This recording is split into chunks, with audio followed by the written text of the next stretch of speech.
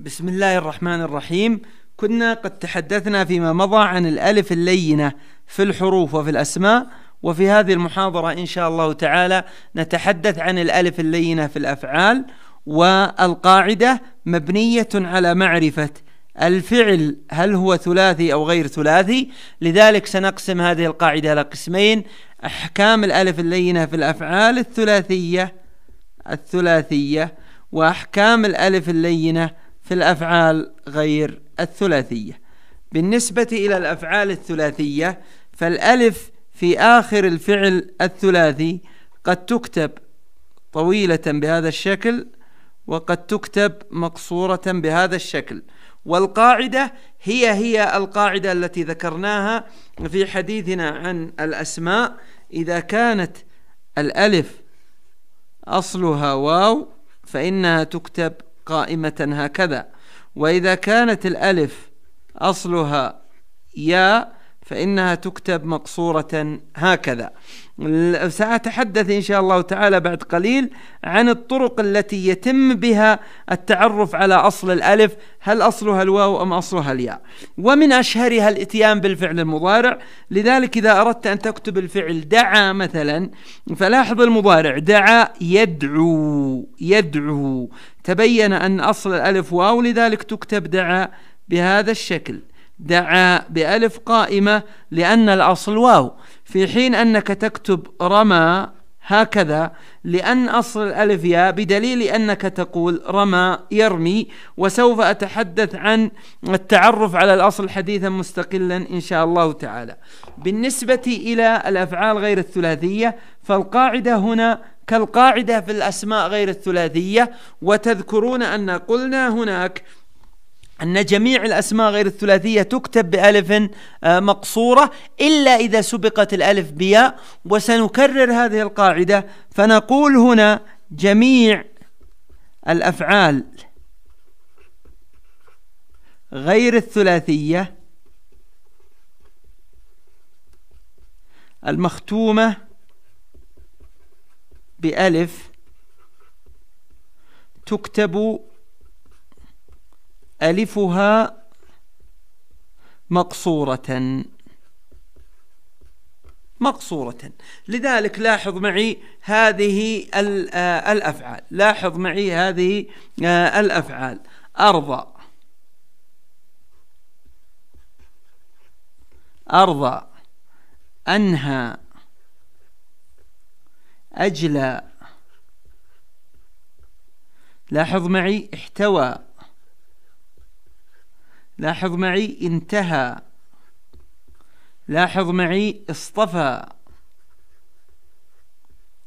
لاحظ معي استثنى. لاحظ معي الفعل استعصى. لاحظ معي استغنى. لاحظ معي استفتى. جميع هذه الأفعال أفعال غير ثلاثية. لاحظ معي الفعل هنا رباعي رباعي رباعي الفعل هنا خماسي خماسي خماسي. لاحظ معي سداسي سداسي سداسي سداسي. وجاء في آخره ألف وقد أجرينا القاعدة عليه فكتبنا الألف مقصورة حسب القاعدة لأن القاعدة تقول جميع الأفعال غير الثلاثية المختومة بألف تكتب ألفها مقصورة بهذا الشكل. نستثني من ذلك كما استثنينا في الأسماء الأفعال آه، المختومة الأفعال غير الثلاثية المختومة بألف وقبل الألف ياء. لاحظ معي الفعل أحياء. لو طبقنا القاعدة وجب أن نكتبه بهذا الشكل. استحيا يكتب بهذا الشكل حسب القاعدة. استعيا يكتب بهذا الشكل حسب القاعدة. ولكن العلماء ما أرادوا تكرار الألف المقصورة بعد الياء لأنها شبيهة بها فجعلوا هذا الرسم خاطئا وقالوا نفعل هنا ما فعلناه في الأسماء فنكتب بهذا الشكل أحيا واستحيا واستعيا. فنكتبها قائمة وعلة ذلك هو أن هذه الكلمات مستثناة لأن الألف التي في آخرها قد جاءت مسبوقة بياء. كما فعلنا ذلك في الأسماء حين تحدثنا عن كلمات مثل خبايا ومثل رزايا ومثل دنيا. لاحظ معي أنها أسماء غير ثلاثية ومختومة بألف ولو أجرينا القاعدة لكتبناها مقصورة ولكن كتبناها طويلة قائمة لأنها سبقت بيا. وهنا يجب التنبيه على شيء آخر وهو أن عندنا كلمة يحيى قد تأتي اسما وقد تأتي فعلا.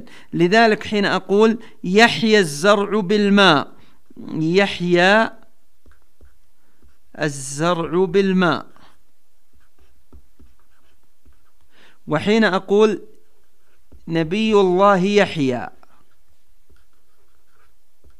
فإن يحيى هنا فعل ويحيى هنا اسم وهي مختومة بألف. وقد قلنا إن القاعدة هو أن تكتب مقصورة ولكن استثنينا الأسماء التي آه، يأتي قبل الألف فيها ياء فتكتب قائمة. ولكن لما كان يحيى يأتي فعلا واسما كتبناه مرة بألف قائمة ومرة بألف مقصورة حتى نفرق بين الاسم والفعل. لذلك جعلنا المختوم بألف قائمة هو يحيى الفعل وجعلنا المختوم آه، بألف مقصورة هو يحيى الاسم. هو يحيى الاسم وبهذا نكون قد أنهينا الحديث. بفضل الله تعالى عن كتابة الألف اللينة في الأفعال وبقي لنا تنبيه مستقل في الدرس القادم إن شاء الله تعالى عن طريق آه عن طريقة معرفة آه أصل الألف التي في أواخر الأفعال هل هي الواو أو الياء.